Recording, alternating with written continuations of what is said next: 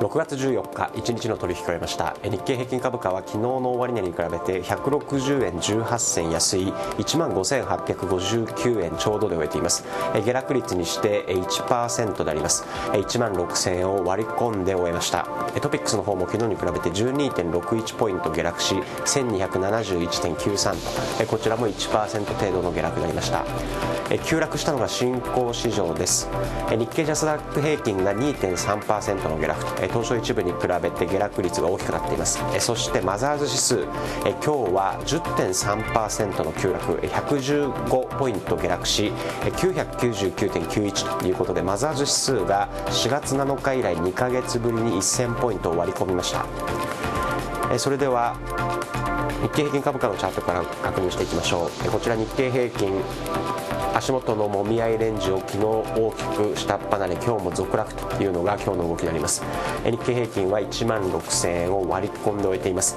引き続きブレグジット懸念ですとか円高といったところが主力銘柄特に輸出関連企業への大きな売りを支えました。こうした中で新興市場も今日は急落しています。マザーズ指数のチャートです。マザーズ指数このところ1100ポイント台なんとか値を保っていましたけども今日は一気に115ポイント下落し終値で999ポイントということです。この大きな陰線が今日の冷やしチャートになります。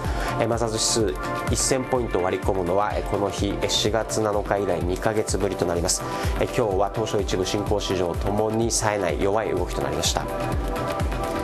こうした中で買われている銘柄売られている銘柄でありますけどもこのマザーズを下げた要因というのがこの4565創生の動きであります。バイオベンチャーの創生でありますけどもこのところの持ち合い相場を昨日やや下方向に離れて今日はこのように大きく売り込まれました。創生は3410円安ということで下落率にして17%と急落というのが創生の動きであります。この辺りも新興市場への重しになりました。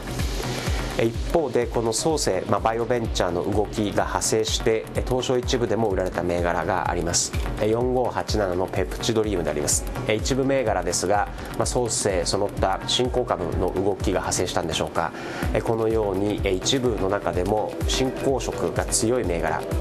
ペプチドリームは今日8%強の下落でありました。一方で東証一部主力株大型株の中でなんとか下げ止まったと値を保ったというのがこの6758ソニーの動きです。